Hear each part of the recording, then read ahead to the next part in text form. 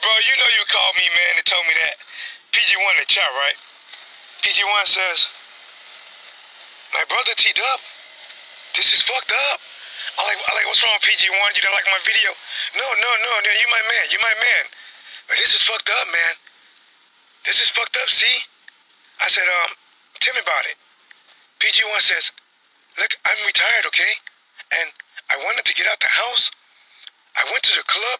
It was dark as hell. I had three Long Island iced teas, top shelf. I said, okay, go on, go on. I was horny. I haven't had no poontang pie in three years. Three years. I haven't seen the split. Not even a banana.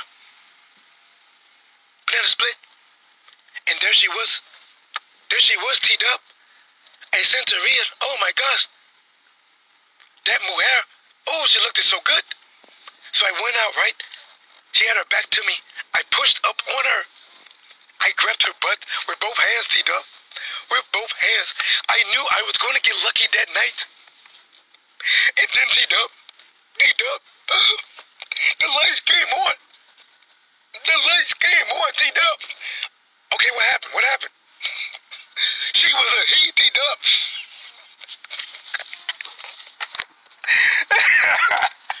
All right, guys. I'm fucking with my boy PG1.